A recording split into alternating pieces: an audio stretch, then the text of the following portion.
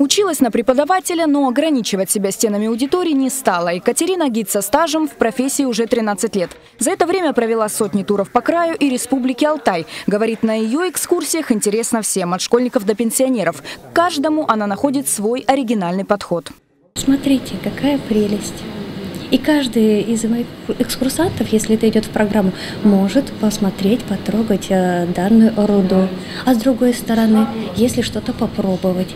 Сегодня, например, на экскурсии я использовала алтайский глинтвейн, сделанный на основе наших э, трав и ягод э, с Алтайского края. Ну и, конечно же, можно же еще попробовать настоящие камни. Посмотрите. Вот хотите? Возьмите.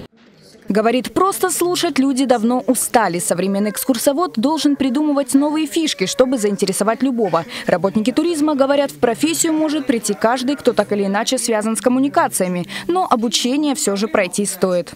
Сейчас мы имеем лицензию, это образовательная деятельность с выдачей документов государственного образца, это либо удостоверение, это 72 часа. Но это поверхностно, конечно, у кого есть базовое уже образование и просто ну, хотят подтвердить свою квалификацию и пройти аттестацию потом.